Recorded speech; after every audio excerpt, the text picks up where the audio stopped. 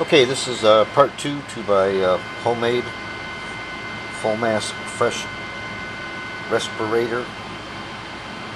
And uh, as you can see, I've uh, epoxied these pieces because this was open here. And this piece actually, what it does is it actually snaps onto that piece. And then there's a, another filter like this goes in that way and then this cover right here snaps over.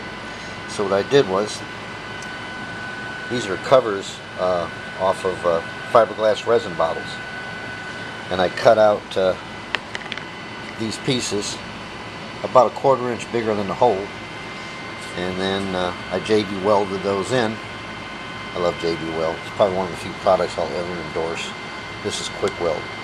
Quick weld works real good excellent if there's not a lot of pressure behind it. Sets up real fast, 10-15 minutes, and it's ready to be used. But if you want something to be really solid, I mean I have fixed engine heads and cracked blocks with JB Weld. But you got to use the regular JB Weld, the stuff that takes 24 to 48 hours to dry. Because they said the, J, the quick weld, it doesn't hold up as well. It's not as, uh, I don't know, sticky or solid or whatever. Um, if you mix the two of them up and put them next to each other and let them harden and you drill through them, the quick weld drills real easy. The regular JB weld, it's tough son of a bitch. It's almost like drilling through steel. So if you want to do something real tough, but it takes a while for it to set up, get the regular JB weld. But like I said, this is the quick weld. I love this stuff. And uh, then I'm going to drill out that hole in the center to fit those little white plastic elbows that I have. And like I said, then this is going to sit on top of this, like so. And then that part right there goes into the mask, and that way it'll be enclosed. The barb will come out here, go back, and I'm going to have it back over my back shoulder. I don't want it hanging down in front of me getting get in the way.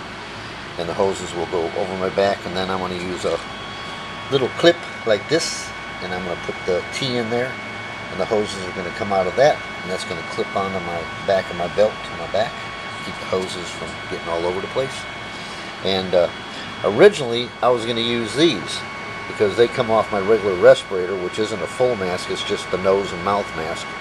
But the motherfuckers yeah I said it motherfuckers they make the hole bigger than what than what this one is the hole size on this one is bigger so it don't fit on to the 3M. See how much smaller the hole is? Yeah, they do that shit on purpose. That's so you have to buy their shit. Well, guess what? When I get done with this product, I'm to throw this motherfucker away. Yeah, if you don't like my language, don't watch my videos. That just pisses me off. And then I just mixed up some JB Weld with a screwdriver. And I applied it all the way around. And I'm also to put a little coat on the inside of this on the other side. Let that harden up for a couple hours. Drill out the center hole from here. And then I'm going to mount my barb in there and I'm going to put some more JB weld on the barb and glue that on. And like I said, then that snaps on to that piece right there. And that way, when I get this onto the mask, it'll be solid unit and only air can go through it. No dust or nothing else. And the filters are nice in there because uh, it'll help a little bit. I've got the filters on the uh, compressor already, so that helps a lot. But uh, that's basically what I use. Like I said, I just cut out, these are off of uh, one gallon resin bottles. that's what I use to make these pieces. And like I said, they're just cut just about a quarter inch bigger than this hole. And I put them on the inside because this little guy's got a little lip on the outside, so it wouldn't wouldn't glue as well. So I put him on the inside, which it don't make a difference. Uh, that's the end of this. Is part two, and when I get her back assembled, I'll throw another video at you. Say goodnight, Mel. Good night, Mel.